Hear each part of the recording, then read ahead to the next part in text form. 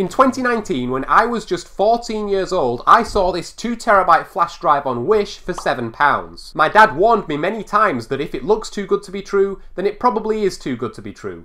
But me, being a complete wazzock, bought it anyway and plugged it into my computer. And it worked. I could put files into it, take files out, open files, and they worked just fine. Until one day when I put a video file in there and everything in the flash drive corrupted. It was all gone and the flash drive was broken. Your boy got scammed. You see, scammers from Wish will buy cheap flash drives made by tiny little Chinese children working in a factory, stick a label on them that says 2 terabytes, and change the code to make it look like 2 terabytes on your computer. Then they'll sell it at a slightly higher price so they make profit when you buy it thinking that it's more valuable than it actually is. But fast forwards 5 years and 2 terabyte micro SD cards are actually on the market only this time they're not made by tiny little Chinese children. These things are about the size of my thumbnail and hold enough storage for 130 hours of 4K video at 60 frames per second. So how does it fit all that data in such a small space? Well, it may not surprise you that the inside is packed with memory cells. These memory cells hold either a 0 or a 1, so when you plug the micro SD card into your computer, your computer will translate the zeros and ones into information that a human can understand. Each memory cell is composed of three main parts the channel, the charge trap, and the gate. And in between them is this insulating material, which is usually made of silicon. The channel contains many electrons, so when a positive voltage is applied to the gate,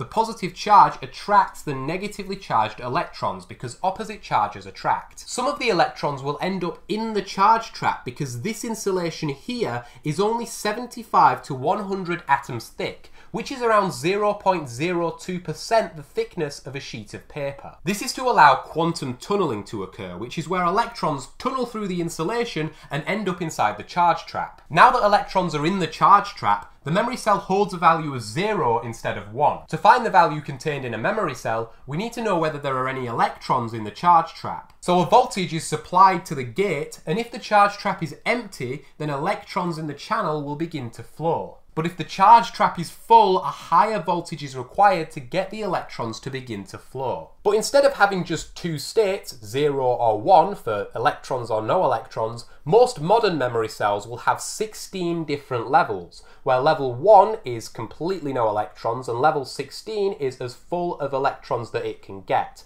meaning that instead of having just one bit, one memory cell can now store four bits. The smallest memory cells are around 20 to 30 nanometers in width and length, and around 40 to 60 nanometers in height. So what is the maximum capacity you could theoretically get in a micro SD card? I never recovered those files from that 2TB flash drive, I ended up having to throw it away and buy a proper 2TB hard drive from Toshiba. It costs only £60 and it's a lot bigger than a micro SD card because it uses a hard disk instead of flash memory. They could have probably fit more storage into this hard drive, but it would have costed way more, and for most people, 2 terabytes is plenty. But what if it's not plenty?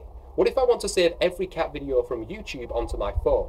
What if I want to record my entire life in 4K so that future generations can see how not to live their life? What if I'm part of a group chat on WhatsApp? Let's say that the length and width of each memory cell is 25 nanometers and that the height is 50 nanometers. So the volume of each memory cell is 3.125 times 10 to the minus 23 meters cubed. And the memory chip inside the micro SD card is 10 millimeters by 7 millimeters by 0.8 millimeters. So the volume is 5.6 times 10 to the minus 8 meters cubed. So if we divide the volume of one chip by the volume of one memory cell, we see that we can fit 1.792 times 10 to the 15 memory cells in one chip. But remember that each memory cell stores 4 bits. So if we multiply by 4, we get 7.168 times 10 to the 15 bits, or around 815 terabytes. This is why I hate you mathematicians. You always make up some bullshit that doesn't work and then you try and force us to build it. How do you expect to read and write from all the cells? How do you expect to stop it from overheating? How do you expect to fix a corrupted file? It doesn't work. No one cares about your numbers.